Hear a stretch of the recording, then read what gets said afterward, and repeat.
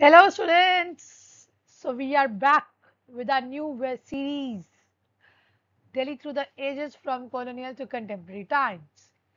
So ये paper क्या है इस पेपर को समझ लेते हैं आज पहले सिलेबस और फिर अब आपको जल्द ही सारे ही पूरे सिलेबस की वीडियोस मिलने लग जाएँगी इतने सारे कमेंट्स आए हैं जैसे कि कि दूसरी सीरीज़ शुरू करवाए तो आपकी भारी भरकम डिमांड पे Delhi through the ages from colonial contemporary times का पेपर की पूरी सीरीज़ आ गई है। सो so, इस पेपर में क्या पढ़ना है? कि दिल्ली जब शासन कर रही थी कॉलोनियल शासन ब्रिटिशर्स जब आ रहे थे तो उसमें क्या डेवलपमेंट हो रही थी? और देखते देखते देखते आज उसमें कहाँ तक दिल्ली के उसमें दिल्ली का प्रशासन दिल्ली की चीज़ों में कहाँ तक इसकी डेवलपमेंट हो गई? दिल्ली जो अगर हम असली दिल्ली की बात करें तो 1803 में बैटल ऑफ़ पटपड़गंज के साथ ब्रिटिशर्स के अंडर आ जाती है दिल्ली। पहले मुगलों का राज था इससे पहले, और 1803 की बैटल के बाद दिल्ली पूरे मुगलों के मुगलों से निकल के ब्रिटिशर्स के हाथ में आ जाती। पहले ये बहुत टाइम पंजाब का एक डिस्ट्रिक्ट या नॉर्थ वेस्ट प्रोविंस का पार्ट बन के रहती है। पर 1911 में हम देखते हैं, दिल्ली अलग हो जाती। है दिल्ली अपने आप में ब्रिटिशर्स की कैपिटल बन जाती। 1911 के बाद हम देखते हैं कि उसके बाद कुछ टाइम तक रहती है फिर ये गवर्नमेंट ऑफ़ इंडिया की पार्ट बन जाती है 1935 के अराउंड। सो ये एक अपने आप में हम देखो कि कैसे दिल्ली के अंदर ही अपने आप में डेवलपमेंट्स हो रही हैं, उसके बाद हम इसके सिलेबस पे देखते हैं कि आपको कैसे प्रिस्क्राइब किया गया है पढ़ने के लिए। जब हम इसकी बात करते हैं तो ये पहली बात तो वही पेपर ले सकते हैं, जिन्होंने पहले हमारा वाला paper Delhi through the ages पढ़ा होगा, और ये दूसरे बच्चे नहीं ले सकते।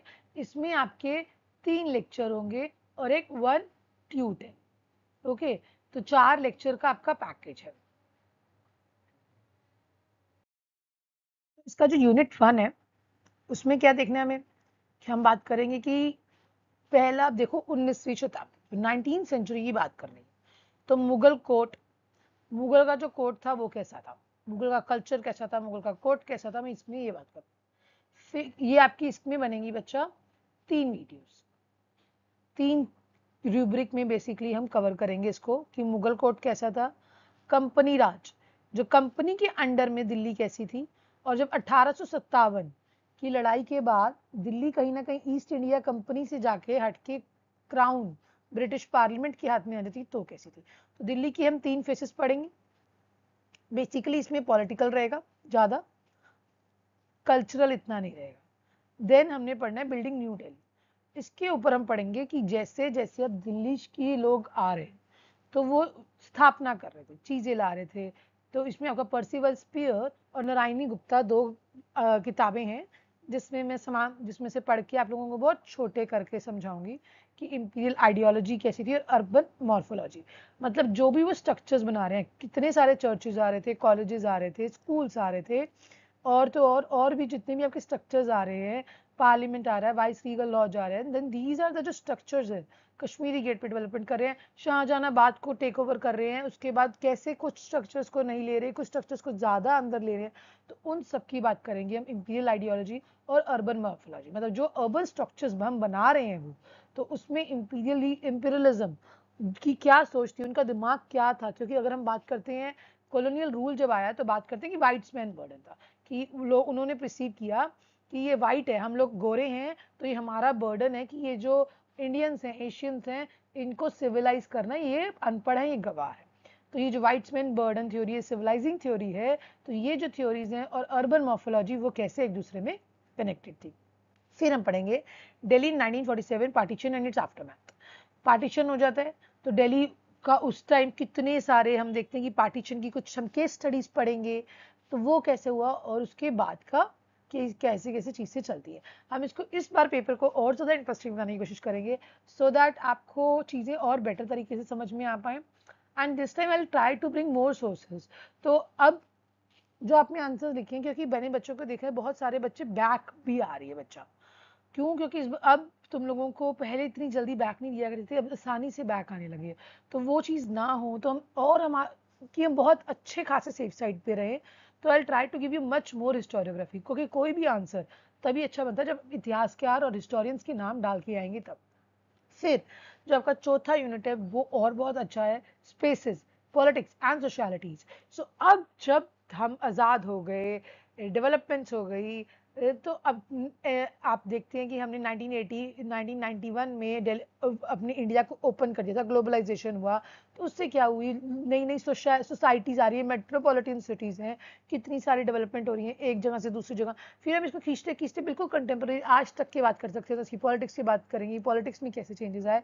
स्पेसेस स्पेसेस में मतलब जो आपके स्ट्रक्चर्स हैं, वो क्या क्या निर्माण हो रही हैं, उनमें कैसे चेंज आ रहा है? Now we can also talk about somewhere Modi government कैसे दिल्ली के कुछ स्पेसेस को चेंज कर रही है जस्ट कि वो that some aspect some different aspects उसको लाने के लिए। डिफरेंटली मोदी गवर्नमेंट आई, तब उनका अपना टेंज था। जब कांग्रेस थी, तब उनका टेंज था।